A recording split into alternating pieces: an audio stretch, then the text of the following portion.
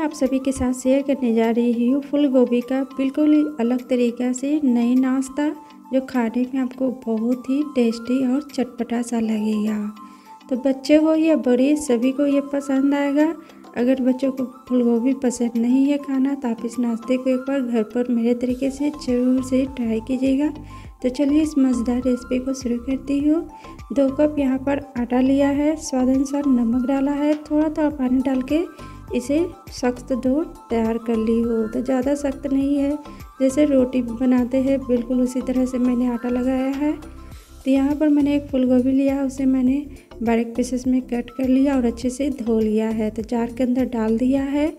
इसमें मैंने दो हरा मिर्च, एक इंच अदरक का टुकड़ा और इसमें धनिया का पत्ते डाले हैं। अब मैं इसे बिना पानी डाले हुए पीस लूँगी। आप चाहे तो फूल गोभी को कद्दूकस भी कर सकते हैं।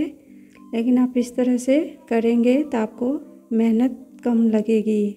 ये देखिए, दरदरा बिल्कुल पिसा गया है। तो इसे मैंने बर्तन में निकाल लिया है। ऊपर से मैंने बॉयल किया हुआ मसला हुआ आलू डाला है। स्वाद सा नमक थोड़ा सा, इसमें लाल मिर्च का पाउडर, चिली फ्लेक्स और ये मैंने मैगी का मसाला डाला है। इससे फ्लेवर है जो इस नाश्ते में बहुत ही अच्छा आता है। तो अगर होगा तो फ्रेंड्स ज़रूर डालिएगा। नहीं तो इसमें आप चाट मसाला भी डाल सकते हैं। तो अब मैं लोई बना लेती हूँ। ये देखिए तो नींबू का साइज़ का मैंने यहाँ पर लोई बनाया है और इसी तरह से सारा मैं तैयार कर लेती हूँ। तो यहाँ पर मैंने नींबू का साँचा लिया है और दोनों साइड मैंने अच्छे से तेल लगा दिया है, लोई को डाल दिया और इस तरह से आपको इसे दाबना है।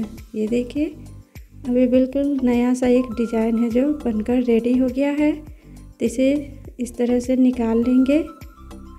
और इसमें मैंने जो मिश्रण रेडी किया है फूल गोभी का, वो मैं इसमें डाल दूँगी। और इसे इस तरह से हल्के हल्के हाथों से दाबते हुए, ये देखिए, ये अच्छे से इस तरह से दाब दीजिएगा ताकि मिश्रण है जो बाहर ना निकले। और इसी तरह से सारा मैं रेडी कर लेती हूँ। तो यहाँ पर सारे मैंने बना लिए हैं।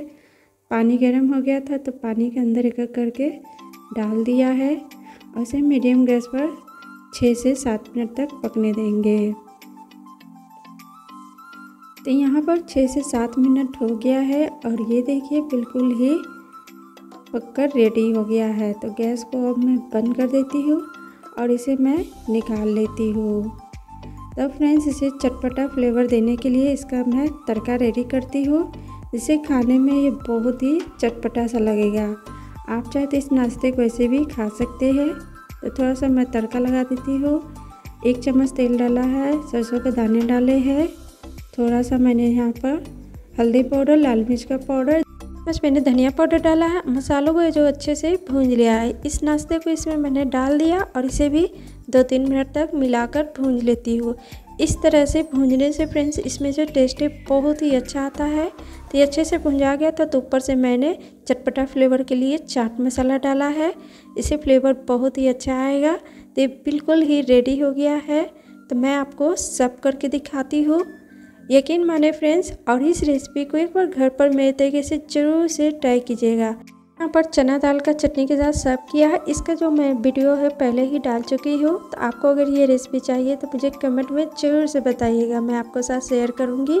इसके साथ खाने में इसका फ्लेवर और भी बहुत ही ज़्यादा टेस्टी लगता है फ्रेंड्स तो ज़रूर से ट्राई कीजिएगा और मुझे आगे बढ़ने में प्लीज़ आप लोग सपोर्ट करिए।